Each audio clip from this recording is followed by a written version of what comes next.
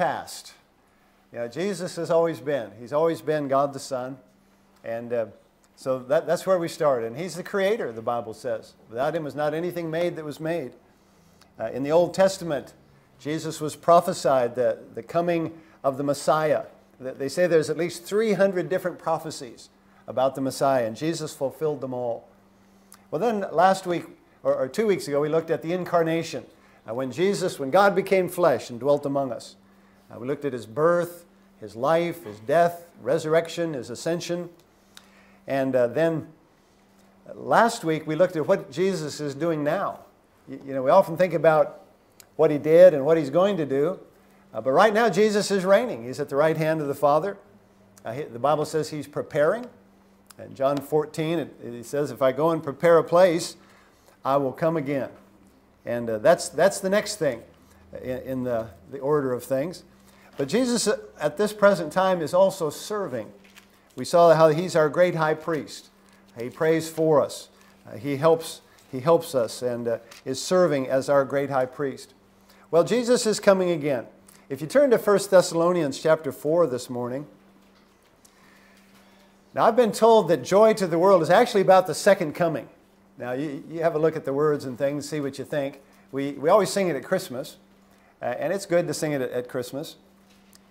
But when Jesus uh, said that he's preparing a place, one of the things he said is he's preparing that to bring us to it. You know, as Christians, he's coming to receive us unto himself. When, uh, when the disciples saw Jesus ascend, they were standing watching, and the angel said, Why, why stand ye gazing up into heaven? This same Jesus which is taken up from you into heaven, shall so come in like manner as you have seen him go into heaven. Jesus is coming again. And it's interesting that almost the last verse in the Bible, it's Revelation 22, verse 20. There's only 21 verses. He says, Surely I come quickly. Uh, that's his message. Jesus is, is coming again. Uh, in 1 Thessalonians chapter 4, let me read verse, uh, starting in verse 13 down through the end of the chapter.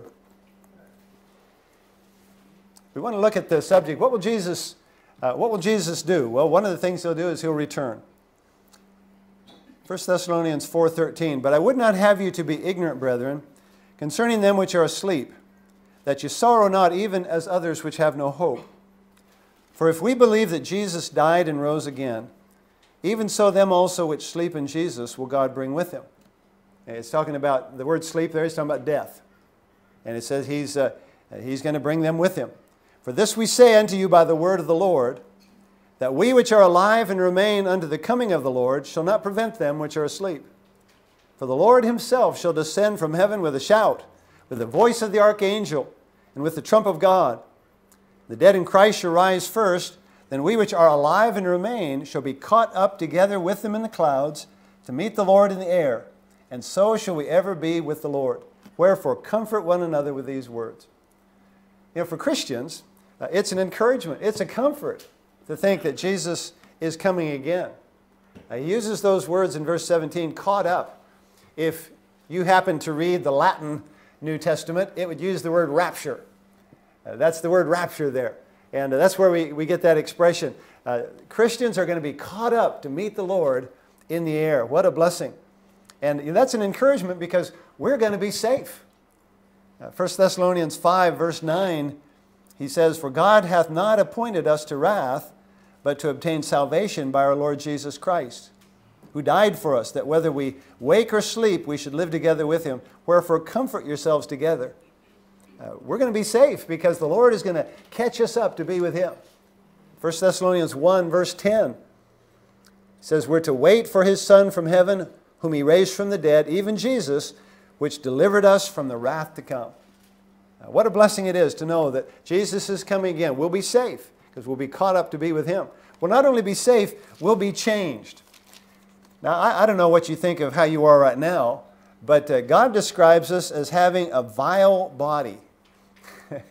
now, I don't know, Philippians 3, verses 20 and 21, he says, Our conversation, that's our, our way of living, is in heaven, from whence also we look for the Savior, the Lord Jesus Christ. You know, we're looking for Jesus to come again who shall change our vile body, that it may be fashioned like unto his glorious body, according to the working whereby he's able even to subdue all things unto himself. What a blessing. Uh, we're going to be changed. Uh, in 1 Corinthians, he says it's going to happen in a moment, in a twinkling of an eye. 1 Corinthians 15, verse 51. I show you a mystery. Now, in, in the New Testament, mysteries are things that we, we didn't understand, and God says, here's, here's the truth of it. Here's, he's given us the, not just the clues, but the understanding of it.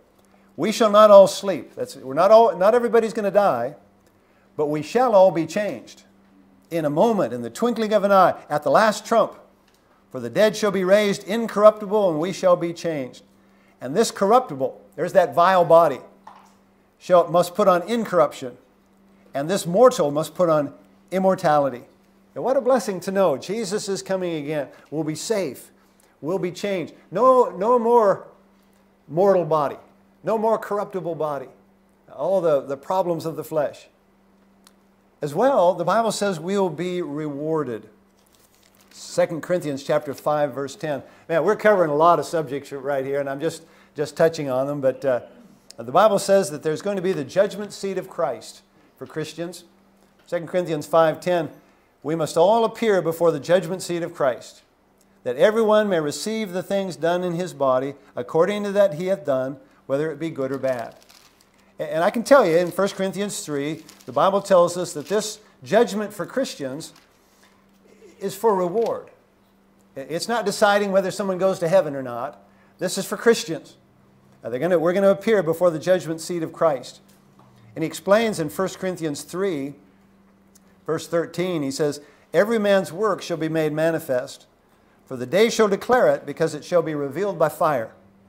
And the fire shall try every man's work of what sort it is. If any man's work abide which he hath built thereupon, he shall receive a reward. If any man's work shall be burned, he shall suffer loss, but he himself shall be saved, yet so as by fire. Just talking about Christians here. And not, every, not all of us are going to have rewards. Some of us are going to have uh, wasted our time and not served the Lord the way we should have. Uh, so there won't be reward, but we'll, uh, we'll be saved. He says, yet so as by fire. Not, not the best way to, uh, to enter eternity, but uh, eternity nonetheless. In, um, in 1 Peter 4 and other places, it, it talks about the crowns that we're going to receive. And the Bible says we're going to cast those crowns at Jesus' feet. Uh, what a blessing to see that uh, we'll be rewarded, uh, we'll be changed, we'll be safe. And as well, the Bible says we're going to we're to be married. know, marriage, marriages are exciting times, and the Bible says that we're the bride of Christ. Revelation 19, for instance, it talks about the, the marriage of the Lamb is come, and his wife hath made herself ready. We're the wife. That's a strange thing, isn't it? We're the bride of Christ, the Bible says. Uh, in Ephesians, he talks about you know, comparing uh, our human marriages with uh, Christ and his bride, and he says, Husbands, love your wives, even as Christ also loved the church and gave himself for it. Uh, eternity. Jesus coming again. Uh, there's, there's so many good things. And the Bible says that Christ's return uh, is in two parts. It's interesting to, to look at this. It's all part of the second coming. The first is the rapture uh, that we looked there at in Ephesians, uh, or, I'm sorry, in 1 Thessalonians 4 17, how that we'll be caught up. He comes for his saints, the Bible says. We which are alive and remain shall be caught up to meet, uh, together with them in the clouds to meet the Lord in the air. So shall we ever be with the Lord. Uh, we meet him in the air. He comes for his saints. That's a comfort. That's a blessing for us as Christians. All those things we've talked about. But the, the second part of it, the Bible says he comes with his saints. Uh, the, the marriage supper of the Lamb and the marriage and the, uh, the judgment seat of Christ, that takes place in heaven while the tribulation is going on down in earth, on earth.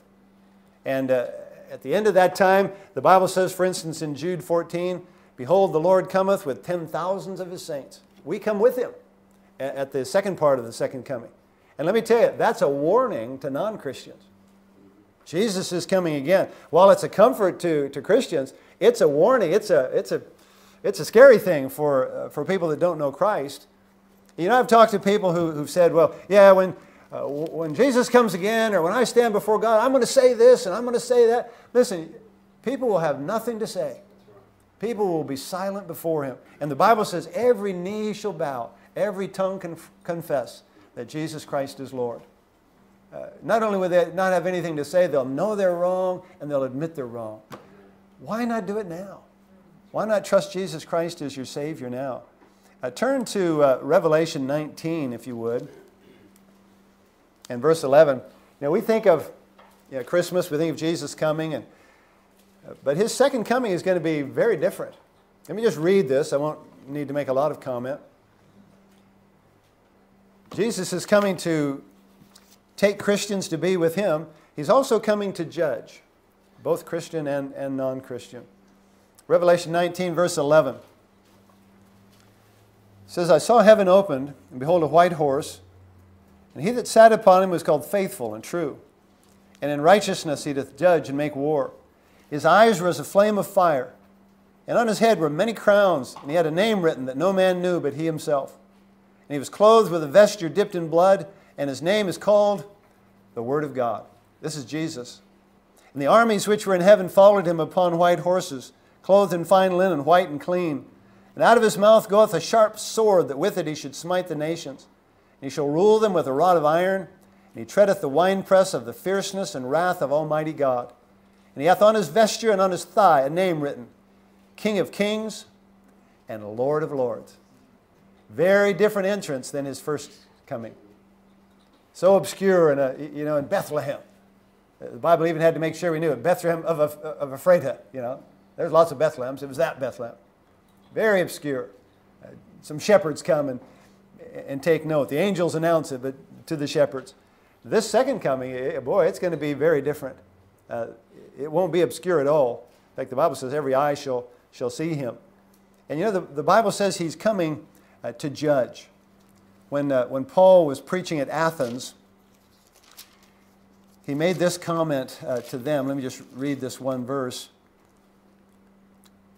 He says, Because he, that's God, hath appointed a day in the which he will judge the world in righteousness by that man whom he hath ordained. It's talking about Jesus. Wherefore he hath given assurance unto all men, and that he hath raised him from the dead. The resurrection is God's guarantee. Jesus is coming again, and Jesus will judge. He'll be the judge. His word uh, will be the standard. Uh, in 1 Thessalonians 5 and uh, verses 1 through 3, it talks about uh, those, those days. And he says, Of the times and seasons, brethren, you have no need that I write unto you. For yourselves know perfectly that the day of the Lord so cometh as a thief in the night. For when they shall say peace and safety, then sudden destruction cometh upon them as travail upon a woman with child, and they shall not escape. Now, the Bible says when, uh, when we're taken out, the tribulation will commence. Uh, and, uh, you know, we, uh, growing up, I always thought of the tribulation as Satan, you know, what he was doing on earth. But you know, in Revelation 6, it describes this as the wrath of the Lamb. This is the wrath of God upon earth. Revelation 6, uh, the end of verse 16, he says this is when people are going to, they're going to ask the rocks to fall on them. Uh, they're going to say, um, hide us from the face of him that sitteth on the throne and from the wrath of the Lamb. For the great day of his wrath is come, and who shall be able to stand? God's wrath.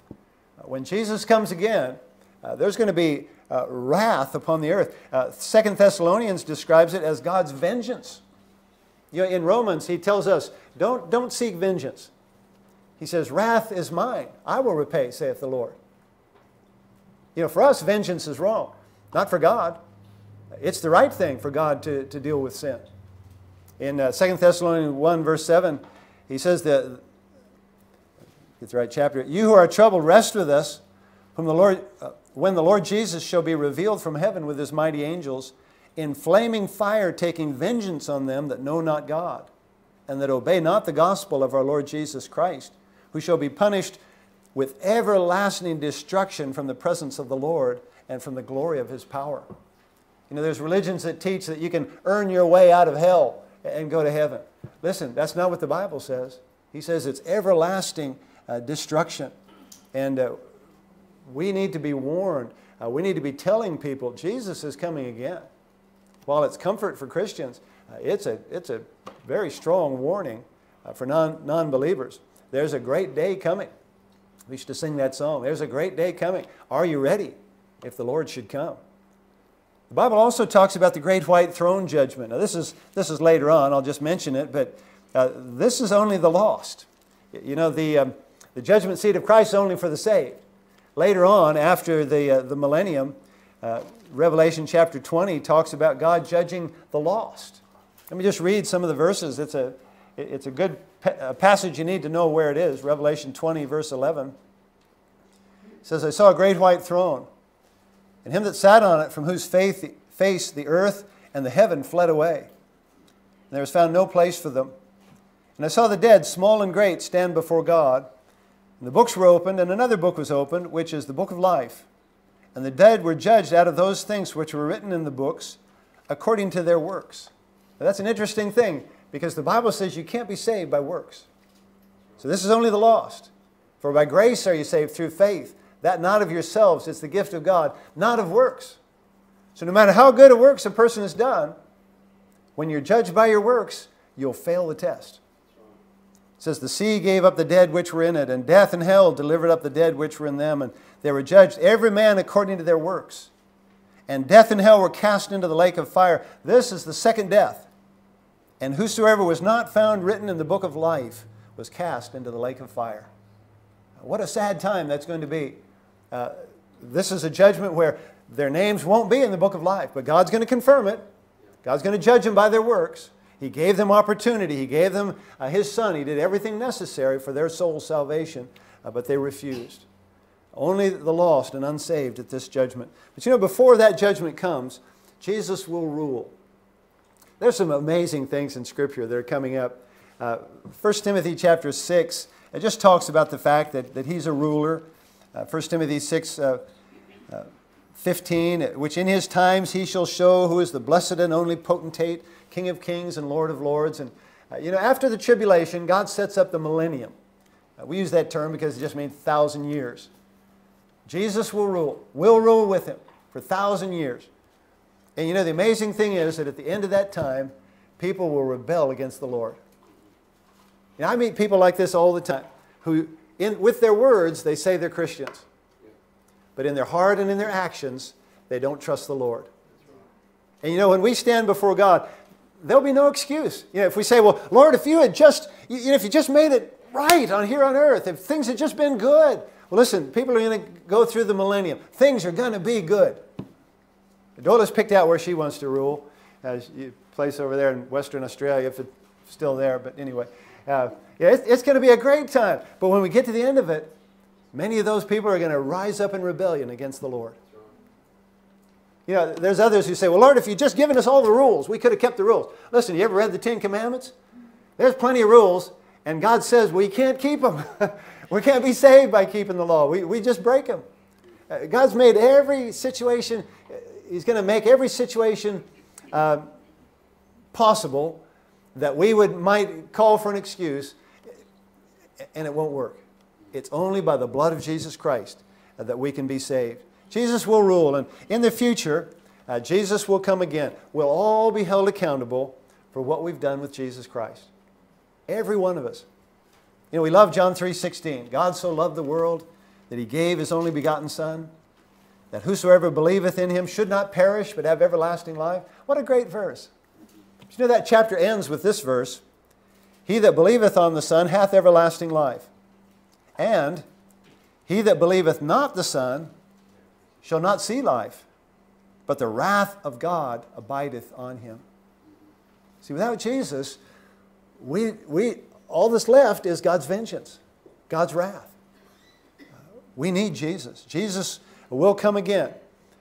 Now, this is not everything, and, and I, I don't know everything, but the Bible leaves us with this understanding there'll be no excuse when Jesus comes again.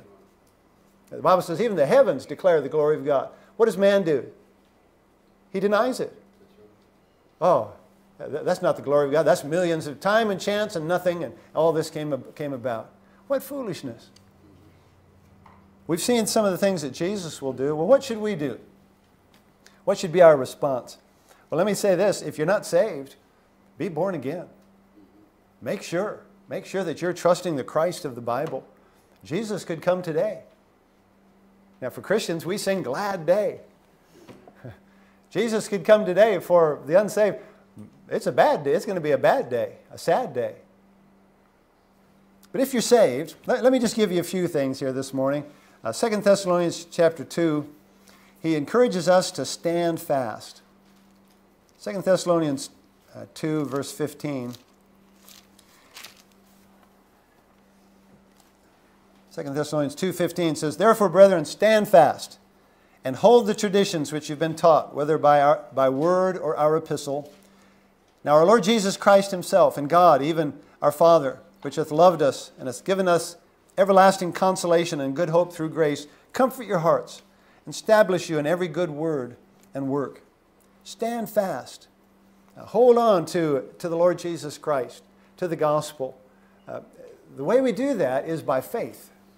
Faith comes by hearing, hearing by the word of God. In 2 Corinthians 1.24 he says, For by faith you stand.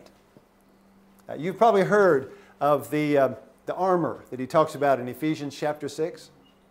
Put on the whole armor of God that you may be able to stand in the wicked day, in the evil day. The helmet of salvation, the breastplate of righteousness, and your feet shod with the preparation of the gospel of peace, and you know, the shield of faith, the sword of the Spirit, which is the word of God. Stand fast by faith. Uh, stand for him, stand with him, stand by faith.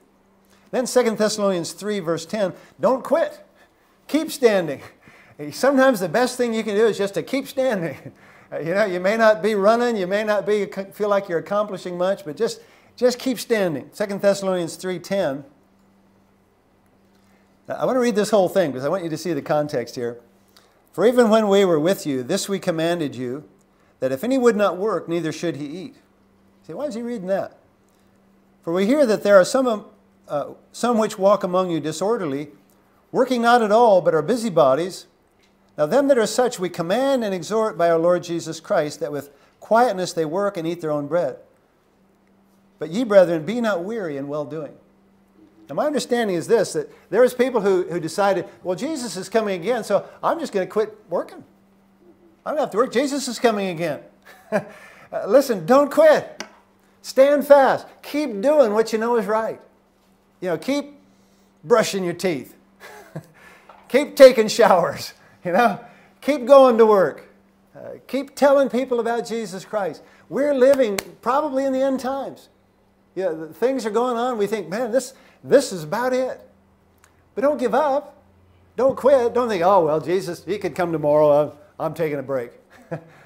Keep on. You told those people if you don't work, you shouldn't eat.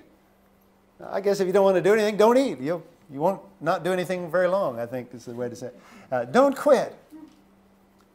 Keep doing what you know is right. I'm told that's the cure for depression. Just keep doing what you know is right. Problem is, we start quitting things. Thirdly, live a holy life. You know, we live in a wicked world, and it's easy to judge how we live by the people around us and think, well, I'm, I'm doing better than they are. But they're not our standard. Listen, parents, how you grew up is not your children's standard. I've heard people say, well, I can't tell my kids that because I used to do it. Listen, you're not the standard. Jesus is the standard. God's word is. Uh, and in 1 John chapter 2, verse 28, very pointed verse, it says, Now, little children, abide in him, that when he shall appear, we may have confidence and not be ashamed before Him at His coming. Yeah, just do what you know is right. Don't be doing something that if Jesus were to come, you'd think, oh man, caught. Some shameful thing. Now, live a holy life. Now, later on in 1 John 3, verse 2, he says, When he shall appear, we shall be like him, for we shall see him as he is. And every man that hath this hope in him purifieth himself, even as he is pure. Jesus is coming again. And when he does, we'll be like him. Let's start working at it now. Let's start practicing now, being like Jesus, living a holy life. Uh, 2 Timothy 2, he says, If a man therefore purge himself from these, he shall be a vessel unto honor. That should be our goal. Now, we're going to fail. We're going to, you know, we're going to do wrong. Well, throw the vessel in the, in the dishes, you know, get it, get it cleaned up. Uh, try to live a, a holy life. Live for Jesus. And then win people that you know need to be saved. Jesus is coming again. Uh, all of us probably have lost loved ones. relatives and family and friends. Man, the time is short. And the Bible makes this statement they shall not escape. Man, that's a stark statement, isn't it? People without Christ will go to hell. You know, the world would mock us if, if they heard us say that. But it's the truth. If you believe that Jesus is the Savior, you believe that you, you have to believe that people without Jesus are not saved. The time is short. They shall not escape. You know, as you think about Jesus coming, as Christians, we're encouraged. Man, I'm going to be glad to be out of this vile body. I'm going to be glad to be out of this vile world. You know, things going on. Oh man, you get you get sick of it. We can be encouraged. Jesus is coming again. What a blessing! But don't be selfish with it. Uh, there's people around us that are not saved, and we need to be warning them. Uh, we need to take the risk that they may not like what we have to say. Jesus is coming again. You know, a person without Jesus will be judged and rightly condemned. You know, the Bible says all have sinned. It says the wages of sin is death, separation from God. But you know, with Jesus, we'll be forgiven. Uh, we'll be safe for eternity. What a blessing to think of that. The gift of God is eternal life through Jesus Christ our Lord. Uh, God sent His Son. He came to be the Savior, came to seek and to save that which was lost. If you found Him, man, you found uh, the most precious thing uh, in this whole world. And we need to make sure that we're, we're sharing it with others. You know, it's as simple as admitting that we're sinners, like God says, believing that Christ died and rose again for our sins, and calling upon Him to save us. Uh, it's as simple as receiving a gift. You just have to receive it. And we do it by faith because it's not a physical thing, it's a spiritual thing. Do you have Jesus? Let me ask you, why would you go home without Him? He created you, he, he proved his love to you by coming and living and dying for you, provided the remedy for your sin. We read in 1 Thessalonians, who died for us, that whether we wake or sleep, we should live together with him. Uh, he rose again and offers eternal life. Jesus is coming again. Will you be ready? Will you be ready? Uh, let's go to the Lord in, in prayer with our, our heads bowed and in an attitude of prayer. Maybe the Lord is, is speaking to you. Maybe you're wasting your time when you should be serving the Lord. Maybe you're not sure about your soul's salvation and you need to find out uh, from God's Word how to be saved. Father, thank you so much for your Word that speaks to our hearts. Uh, Lord, we ask the Holy Spirit to, to help us. Father, if there are, are those here this morning that are not saved, I just pray that you'd bring conviction. Uh, bring us to a, the place of, of repentance. Help us to trust you by faith. Lord, as Christians, help us to live for you and to live for eternity. God, thank you for all the things that you're bringing in our lives that we might, might uh, put them to the test of faith. Thank you for your word, and we pray this in Jesus' name. Amen.